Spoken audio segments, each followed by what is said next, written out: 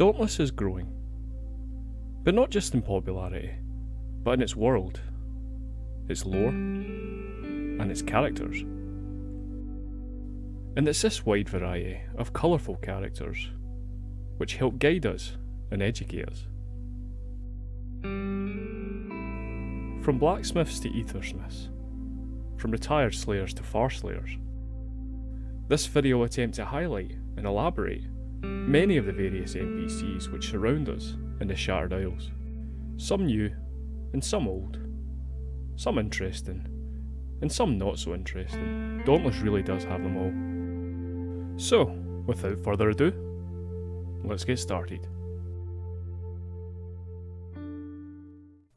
Firstly, I'll need to say that this video doesn't include some fan favourites such as Xelya Farslayer and Linnea Silver. Because both of these characters have an entire video to themselves, I'll leave a link in the description to both of them below.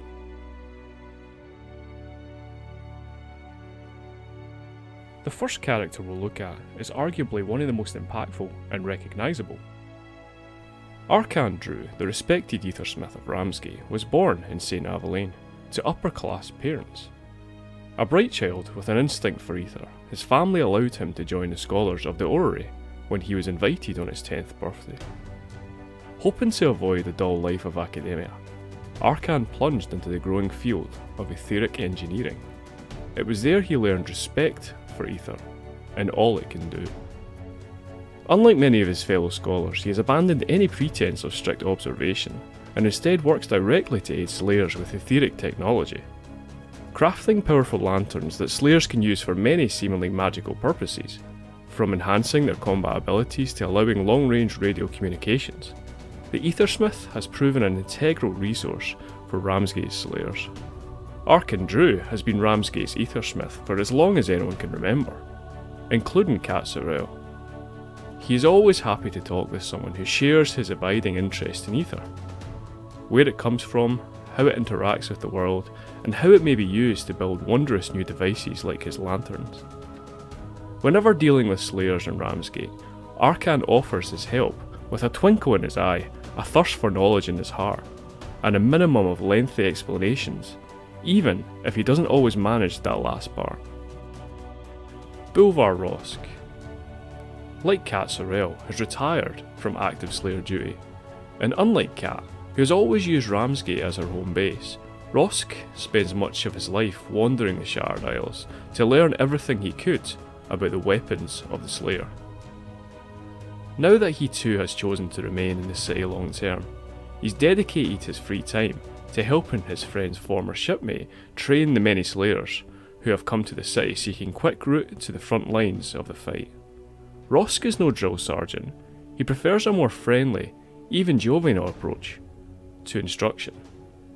But he also demands serious dedication to fighting craft, and is always ready to offer a lesson or two. Bulvar trained with the famous Slayer Kat Sorrel some years ago, and quickly went on to forge a powerful reputation as a Slayer hunting down the largest and most dangerous behemoths.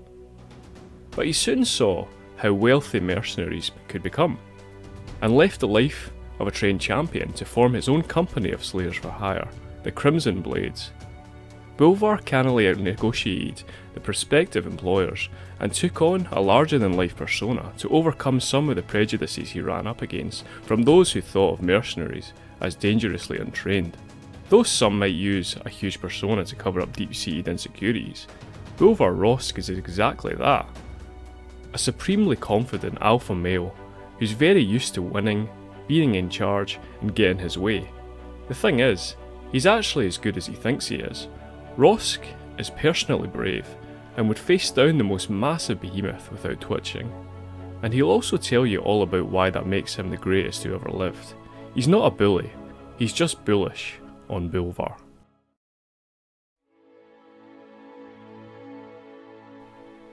Kat Sorrel was born to pioneering parents who died, saving her from the destruction of their frontier island home. A dark, driving memory she shares with only a few close friends. Kat was forced to raise herself. The hardships of her childhood forced Kat to prove her worth amid the toughs and beggars of the Ramsgate streets, and she soon learned that she was a natural fighter, but hunting behemoths was her calling.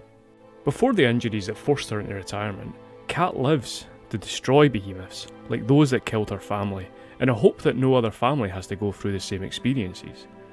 Kat is well known just not as a slayer, but as a trainer of slayers, whose students often go on to be amongst the greatest to follow her path. She trains a single apprentice at a time, taking the time to instill each with all her years of experience and skill. Outwardly gruff and no nonsense, but sometimes lets her guard down to reveal a sense of humour with those she trusts. She has little patience for time wasters and takes training apprentice slayers very seriously. Initially, players will find that Kat is a source of inspiration and knowledge, a trusted mentor more than a parental substitute who can crack wise with trusted subordinates, but also command immediate attention and snap into a serious professional demeanour in an instant.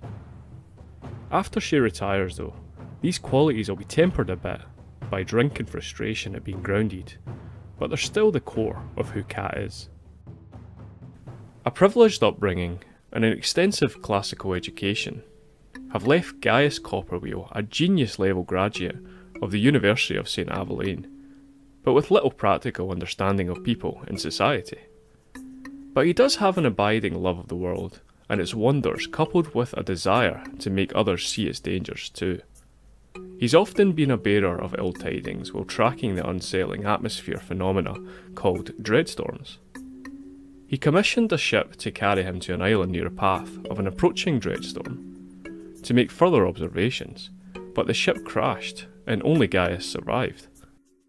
Gaius was left marooned for several months before he was found, and his mind still hasn't quite recovered from the isolation. He talks to himself frequently and often has extensive conversations in that regard.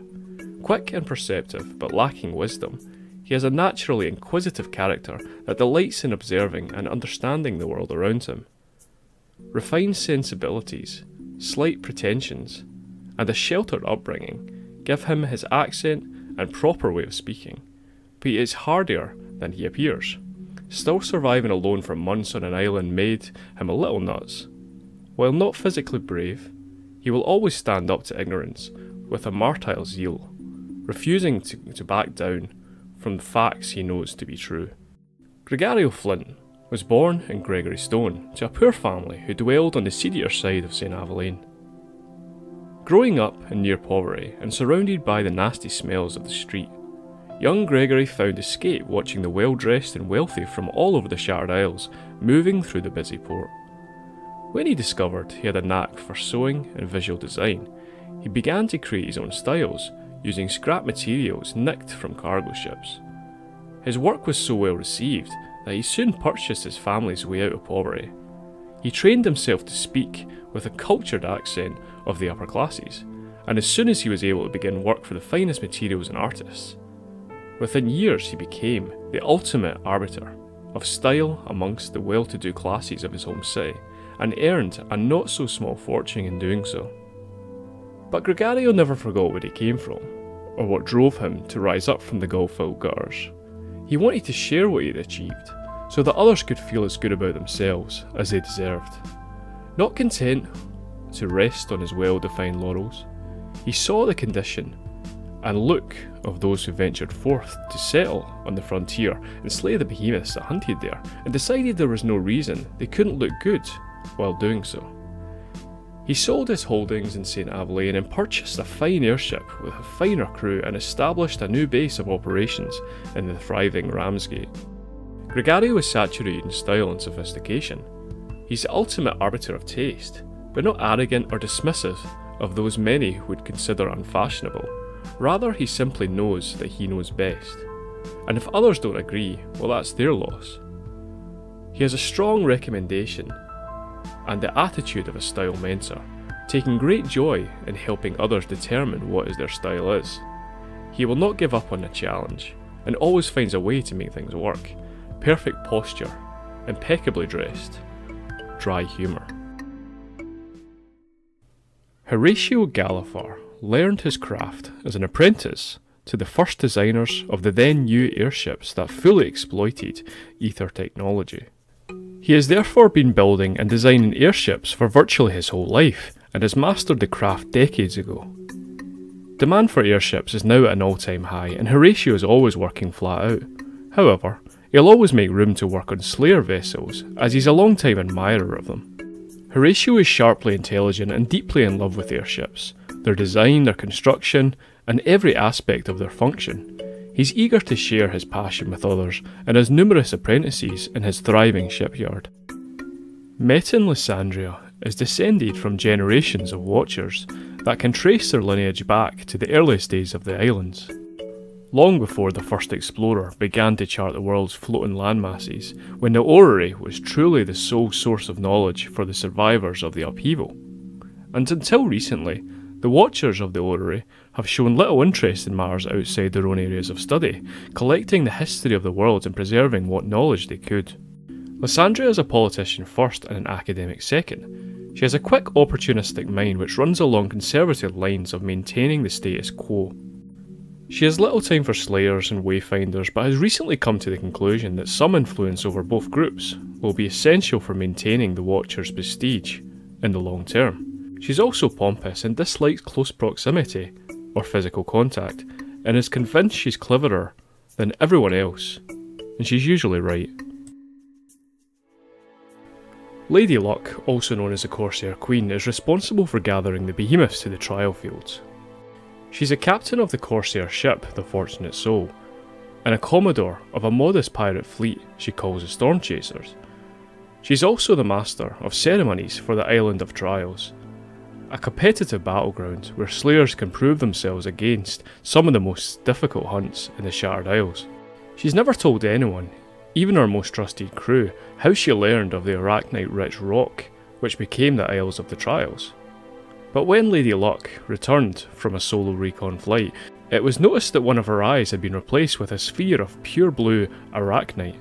After she tossed the first Corsair to ask about the eye over the side, the other storm chasers learn to embrace the mystery. Visima Mos is a professional wayfinder that encompasses the role of navigator, helmsman, and lookout. He has studied airship piloting and navigation at the University of St Avelain and has eschewed safer jobs aboard commercial ships for finding adventure with slayers. Visima is egotistical, but good natured, a little too fond of the ball and prone to tell eyebrow raising stories of airshows and turbulent reefs. He thrives on danger of life on a slayer's airship over the safe pedestrian work he'd get aboard a large transport vessel or slow floating pleasure cruiser. A born gambler, he believes that somewhere in the skies his fortune is waiting, and he only needs a good enough ship with a brave enough captain to find it. Honest Oz is an energetic and enthusiastic young trader of rare and interesting items from all over the Shattered Isles.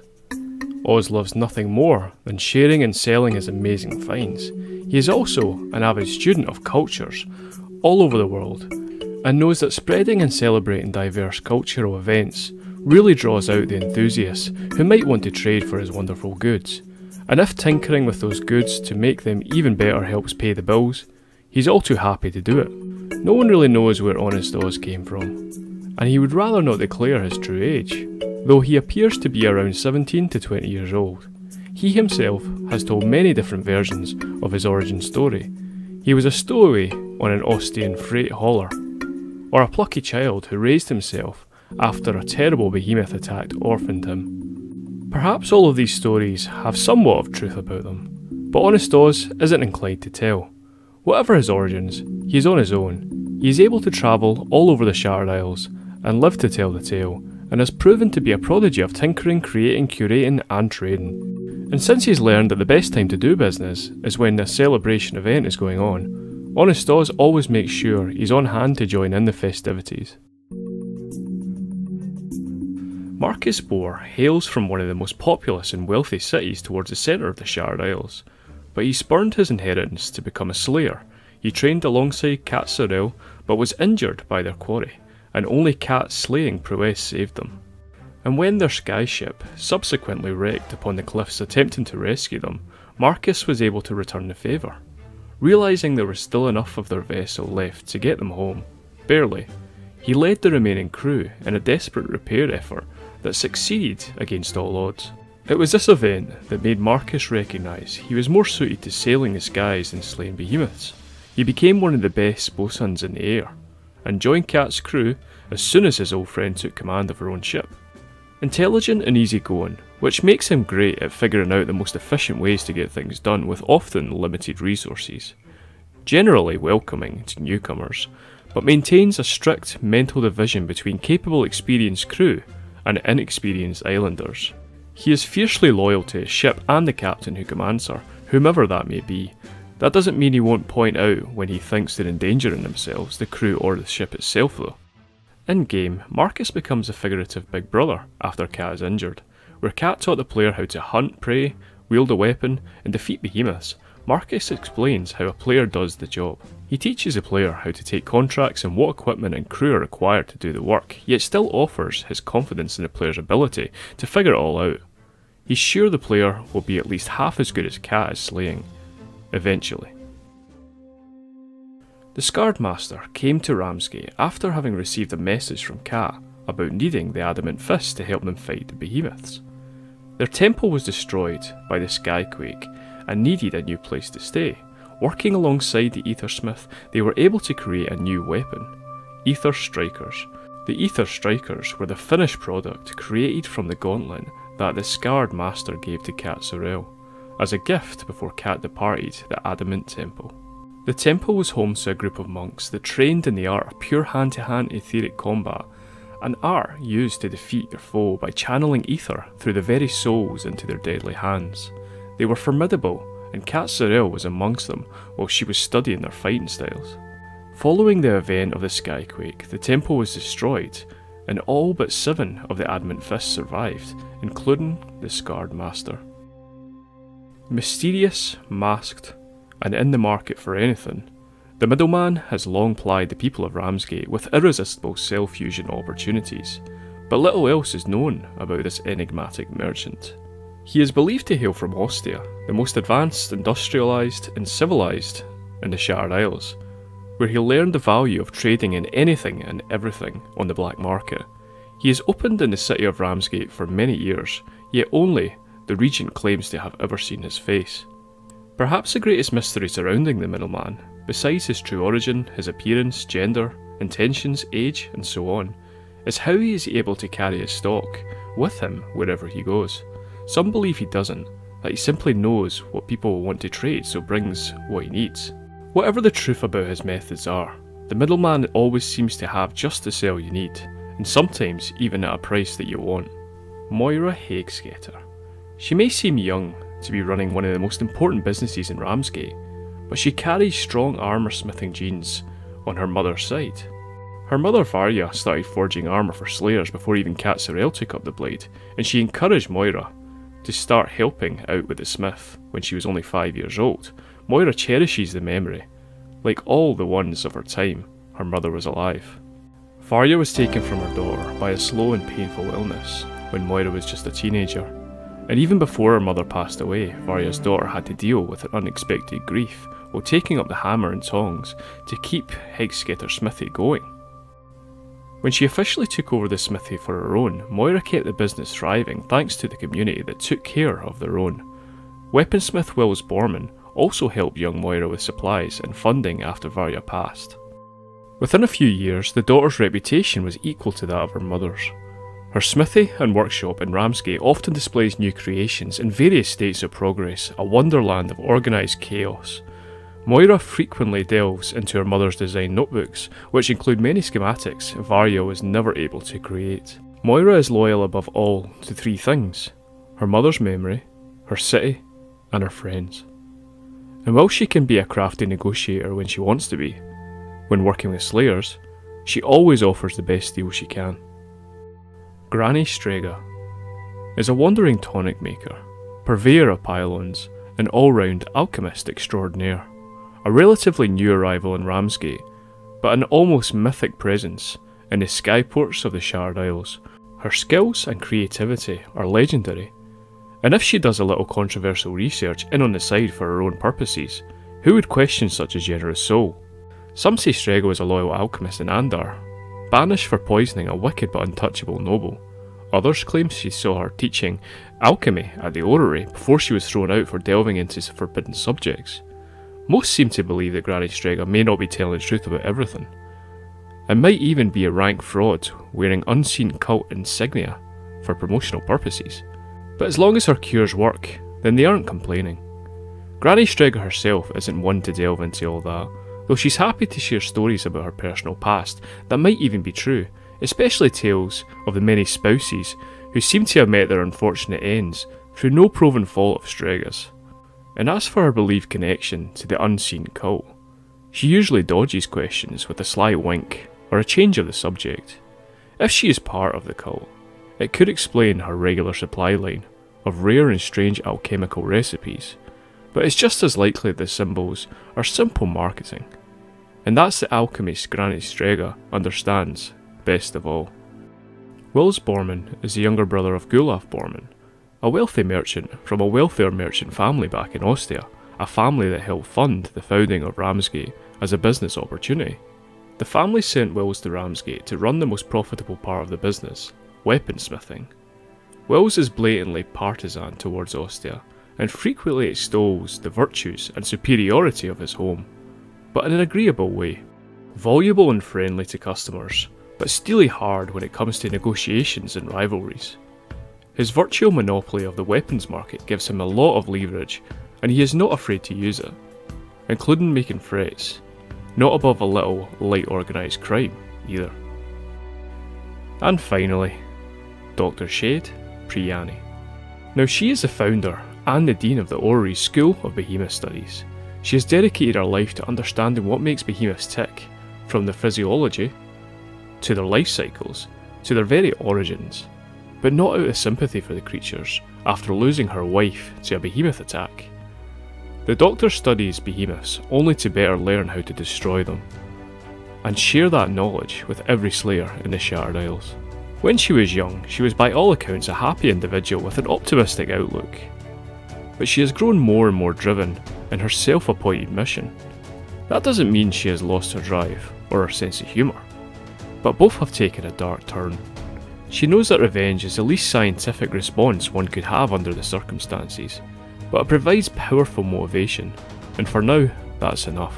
As etheric events have grown more dire in the Maelstrom, the Doctor has taken the opportunity to return to the field for some personal research. The hypercharged islands emerging from the massive storm bring strange behemoths, few if any have seen before, and she is determined these deadly new species won't take hold of the Shattered Isles.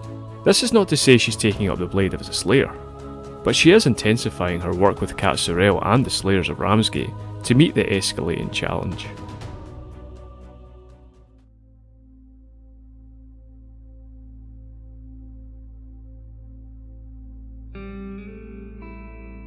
There's something about the world, the lore, and the people of the Shattered Isles that keeps bringing me back to this game. Perhaps the cartoonish art style is enough to deter many non players or casual players. But I find that this is a really in depth, expanding world which is constantly being added to by developers that really seem to enjoy what they're doing. Whether you enjoy exploring, or finding lore locations, or battling behemoths, or becoming unstoppable through countless skills and attributes, Dauntless can certainly be quite addictive. And I think with this video, I've tried to share another reason as to why that might be through all these various characters. But I think that'll about do for today. If you have a favourite Dauntless character, or if you have an idea for a character or race that you would like to see in game, then please feel free to leave it in the comment section below. This video took quite a bit of research and time to put together, so any feedback, any advice would be greatly appreciated. And until next time, see you later.